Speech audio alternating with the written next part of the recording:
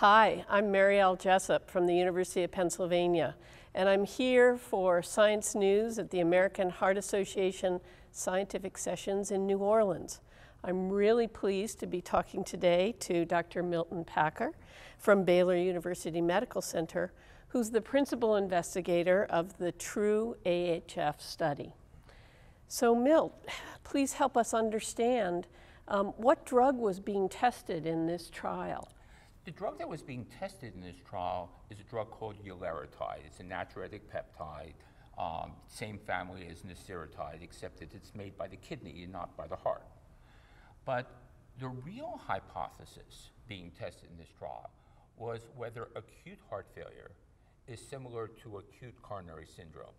Uh, there's been a lot of thought that when people come in with acute heart failure, there's acute ventricular distension, and that causes micro-injury in the myocardium. hence the troponin elevation. Hence the troponin elevation and the acceleration of the disease after the patient is discharged. So we wanted to know that if we decompress the heart very quickly uh, with, with a drug that was capable of both intravascular decongestion and cardiac decompression, whether we would reduce troponins and have long-term effects.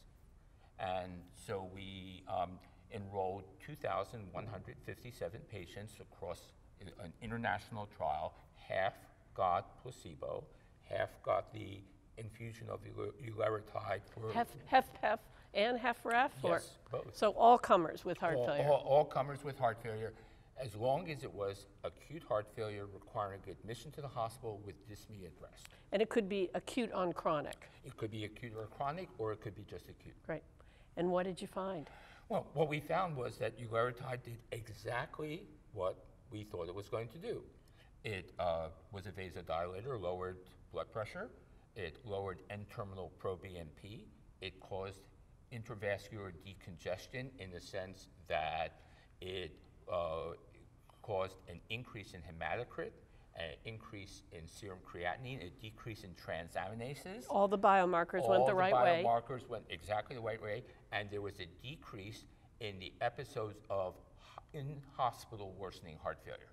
Exactly what you would expect from a drug with this mechanism of action. But and there was no change in troponins. There was no change in the rate of hospitalization, and there was no change in cardiovascular mortality. And this is the first acute heart failure trial that was actually powered to look at cardiovascular mortality. So does this mean the hypothesis that what we do early on makes a difference long term? Is this enough to disprove that hypothesis? There's another trial going on that will examine that question. is with a different drug, uh, serelaxin. Uh, I think it makes us feel that this hypothesis is, this hypothesis has always been on what I would call reasonably weak grounds. Because most of us know when people come in with an acute hospitalization for heart failure, they, have been getting sick for days beforehand. There isn't an acute event like an acute coronary syndrome. Uh, I think what, what this really says is that the uh, six hours or more for intravenous drug use for acute heart failure isn't where the intervention should be concentrated on.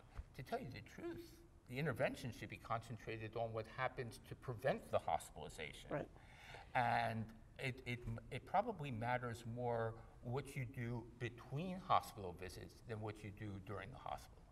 Well, the other thing that strikes me is maybe we've been putting a really very high barrier for new drugs when they're tested in this situation. So is it fair to say that your, your, your new drug, which I, can, I will stumble over, um, is maybe a very beneficial drug, but not in, in, when you have to prove that it changes downstream Th outcomes. That's exactly. Did exactly what we expected while it was being given. At, it was given for 48 hours, and for 48 hours, it did exactly what you would expect in terms of cardiac decompression and intravascular decongestion.